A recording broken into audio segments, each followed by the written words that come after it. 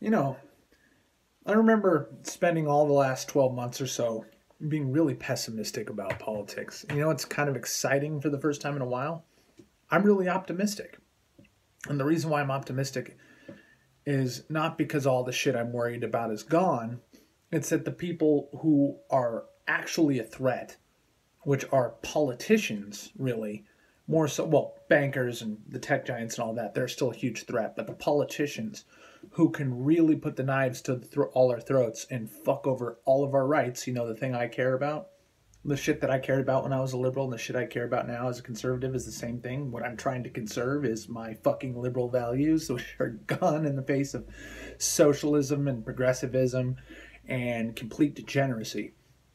Uh, there's a difference between it's legal to be gay, it's different than having the legal right to marriage when you're gay, than there is shoving propaganda on kids, manipulating children into becoming transgender, shit like that. So I look at the Democrat politicians, which there are plenty of Democrats who are not pro propagandizing to children. They're not pro uh, cutting the balls off of six year old kids. They're not they're not pro all this ludicrous SJW shit, right? They're not communists. You know, there's so many of these Democrats, and they're leaving the left in droves. And what are the Democrat politicians doing? Why am I optimistic based on these politicians? Well, I found out what the house of cards of the Democrat Party, the DNC, really is. Is that the voters, the Democrat voters, are not just stupid. Most of them are like single issue voters. There are feminists who scream bloody murder about uh, abortion. There's transgender this, there's gay that, there's the save immigrants this, more refugees that. These are all single issue, single issue, and believe it or not, there's not always that much overlap with these. You know, but outside of actually the niche of the niche, not just the progressives uh, progressives as actually a niche of American culture. They're not the majority, but that the niche of the niche, the limited minority of the progressives are the people who care about all this shit at once. So you get Democrats who are basically trying to capture all of these single issue voters by being for absolutely every extremely extreme progressive position all at once. And what they're doing is shocking and horrifying pretty much everybody who's not an extremist. So you got Democrats, like Democrat politicians, flipping to Republican or independent in droves already. There was like nine of them in Mississippi flipped uh, just recently and one guy flipped uh, during the impeachment thing in the Senate, which is an even bigger deal. Now, when you get a party who wants to not only open the floodgates of illegal immigration, but then naturalize every illegal immigrant and then give them welfare and then give them socialized health care and then give them government funded abortions, government funded transgender reassignment surgery, give them basically everything. And then when you find out, look, the fact of the matter is just Bernie Sanders' health care plan is impossible. When you add on top of literally you could run Bernie's health care plan on every single dollar that every single billionaire in the country has for 5 months. Not 5 years, 5 months. If you stole literally every dollar from every billionaire in the country, that's how affordable his fucking healthcare plan is. And then you add on free college, uh, uh, tuition debt forgiveness, uh, fucking all everything else he wants, and all the, the the shit that Bernie has basically gone back on shit he said as recently as 2016 regarding immigration. You add in all of that, and you realize that this lunatic, this absolutely batshit insane lunatic who can't even do the most rudimentary economics possible. You know, I'm no economist, folks, but I've listened to some people who know a lot more about it than I do, and everything he wants is not even remotely possible. It's not impossible if he turned every last one of us into fucking slaves and pressed us into fucking chain gangs. He couldn't do it. It's impossible. Not expensive, not you would redu- reduce the economy to ashes. It literally can't be done if every dollar in existence was available to him. Okay, this guy's the front runner you think this guy can beat Trump? Not a fucking chance. Not a fucking chance. So, of course, I'm optimistic because this is what's waking people up. When you have the, the politicians as stupid, as ignorant, and as incompetent, if not far more so than the voters they depend on. You'd think, with all these think tanks and multi, tens and hundreds of millions of dollars at the at the disposal of some of these people, that they could prepare just for a 90 minute debate. That Bloomberg didn't expect what fucking Elizabeth Warren threw at him in like the seventh Democratic debate and stuttered and sweat on camera and went wide eyed as a fucking deer in the headlights. How did nobody prepare him for that? Look, if you got that many skeletons in the closet and the Democrat Party is full blown feminism fucking let's go, how are you not prepared? How has nobody looked at you and said, look, if you have these skeletons in the closet, you need to have sound bites ready to at least you know, a blade of armor, let that slide off you a little bit if you're going to take a, a fucking direct hit. He had nothing. Who in the fucking hell of this king making fucking manipulative fucking DNC thought, you know who we should really try to put our weight behind and then keep our weight behind after all this time? Joe Biden? And the reason why is because Joe Biden is apparently the only guy they have that has both name recognition and anything even remotely close to moderate policy. You couldn't get that out of Elizabeth Warren, who is a fucking goddamn political chameleon who's been everything but a from between a Christian conservative Republican to a radical feminist fucking progressive. You're telling me that you can't organize this chick who has, you know, the only viable female candidate outside of Clinton who's who's not viable but at least had some momentum behind her. And if all you got with is Warren, you can't tell Warren, look, we've looked at the polls, we've looked at what you can you know what you're willing to do and since Elizabeth Warren has no principles and no fucking soul, surely somebody could have just whispered in her ear and said, "Uh hey bitch, don't steal Bernie's platform, steal Biden's platform, and we got a chance. No, she ran as far to the left as she possibly could and left herself virtually no room to pivot back to the center in the general, which is the Democrat strategy every single time. Pander to extremists in the primaries, and then once you have a candidate, rush that candidate about 50, 100 miles to the right so that they could actually get not just middle America, but about 75 to 80% of America to actually vote for that person who you push through the primaries on a ludicrous, lunatic, extremist minority platform. And the Democrats have been doing this shit since Carter. It doesn't work anymore. Barack Obama had a great shtick. A lot of all these people who think that oh Donald Trump's shtick of his of his boorishness and his I'm an outsider and fuck you. I'm willing to say swear words on camera and I fucking mock people and I tell tell reporters you are fake news, get out of the White House. You know, like everybody likes this fucking gimmick of his. You know, that's not why people are going to be voting for him again. They're going to be voting for him when, it, at the end of the day, when it came to what actually affected the economy, what actually affected jobs, what actually affected foreign policy, what affected trade deals in a positive way Trump's actual policy. And that now it's just an extra little smile to our faces, an actual reassurance that they, we got the right guy, that he tells slugs like you to fuck off. But when you look at the gimmick of the Democrats, what their gimmick is, is I am a fucking slavering lunatic extremist.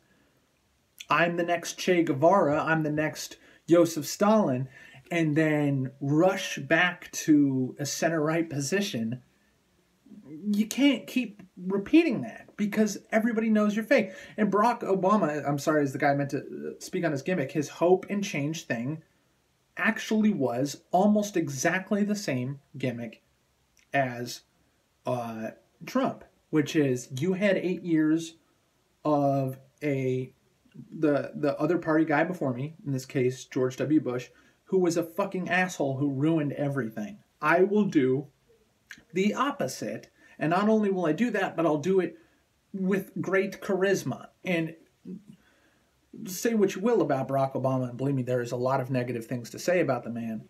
Very charismatic, extremely so.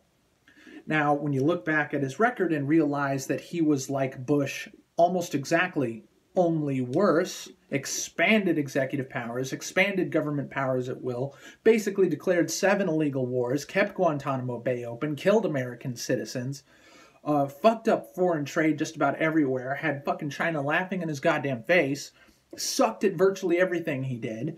Um, and when it came to the the the crybaby shit about um, uh, all these uh, wedge issues that Democrats care about now, uh, Obama didn't switch to pro gay marriage until like the middle of his second term.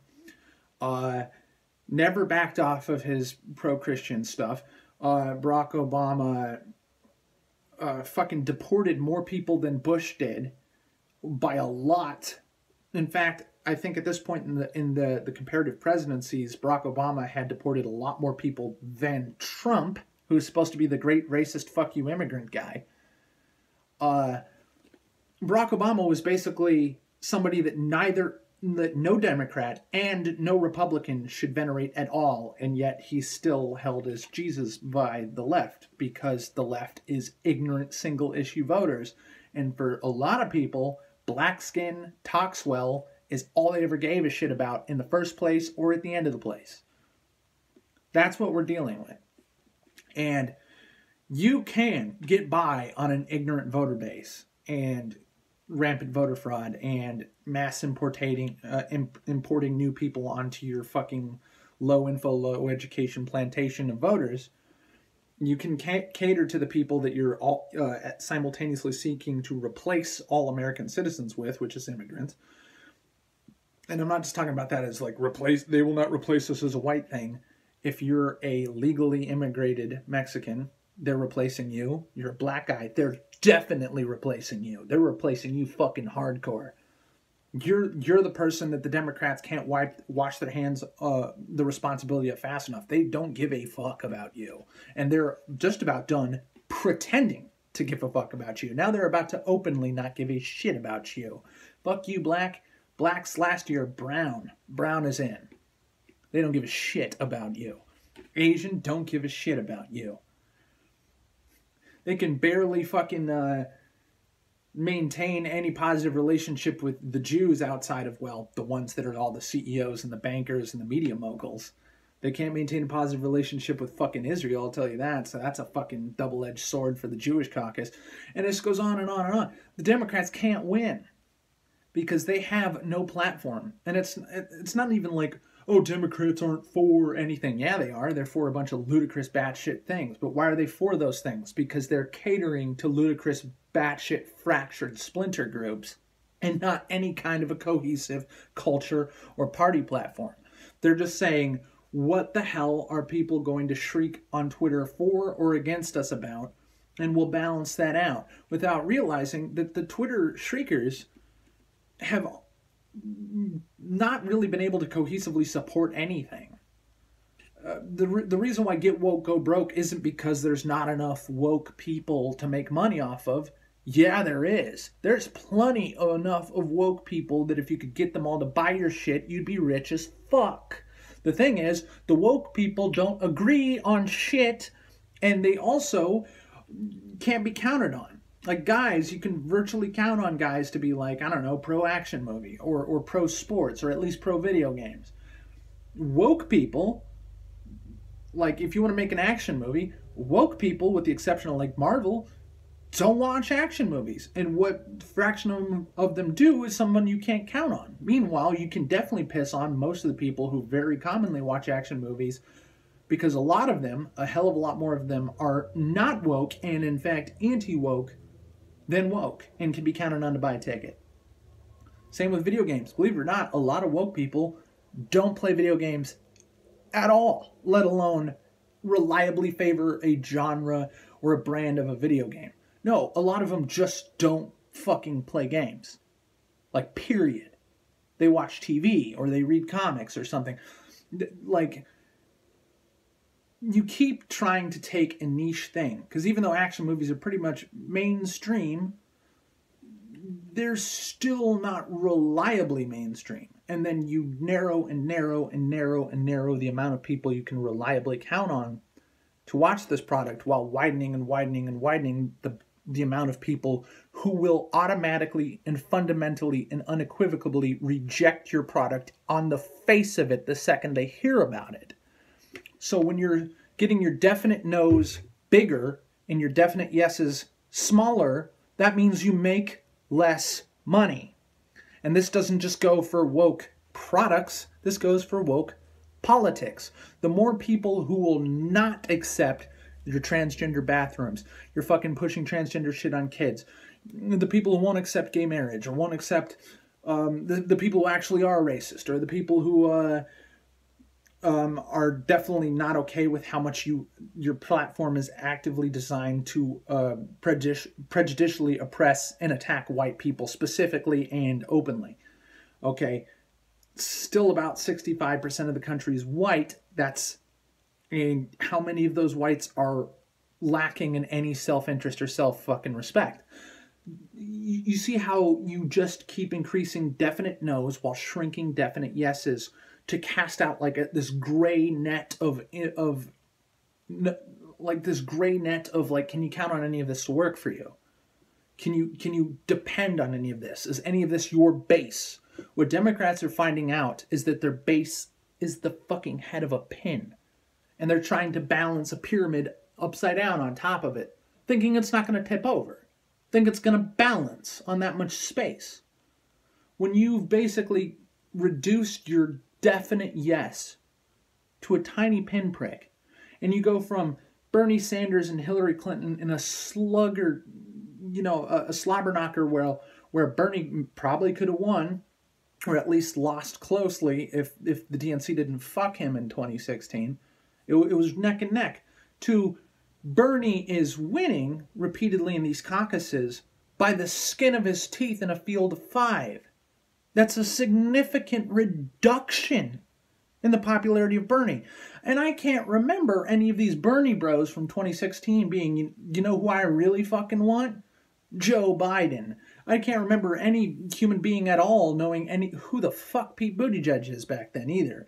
I do remember a ton of hype and interest in Elizabeth Warren in 2016. She was the progressive, like, why the fuck isn't she running? I guess she just wants to stay out of Hillary Clinton's way because she's who we want.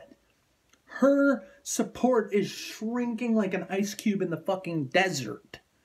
The person who progressives probably would have preferred over both Clinton and Bernie in 2016 can't catch a break because she's doing all the shit I just talked about for 18 minutes. So I should cut it off here we just keep in mind there's no hope in 2020 for Democrats.